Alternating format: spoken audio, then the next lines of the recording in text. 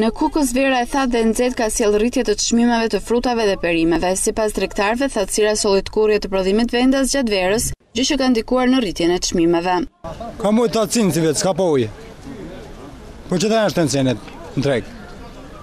Një mijë lekë kilja ka sa vesë të gjuna, pak për popën, sa mollë konsumi. Molla, a për qefa, a manë ishe, domatja një mijë lekë, shtrenjtë, Thatësina e madhe.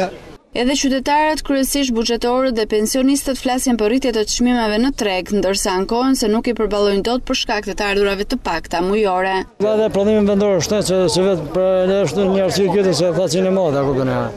Po ato, ato janë bërë, me thënë të drejtën, janë këtë me me me shumë me shumë probleme. Shtrenjtë janë, shtrenjtë, të të shtrenjta janë. Çmimet janë në stratosferë, po ma kupton.